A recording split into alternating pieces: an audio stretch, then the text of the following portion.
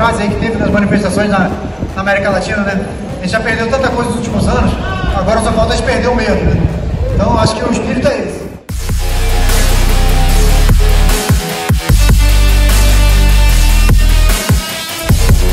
Estão votando a rejeição da proposta.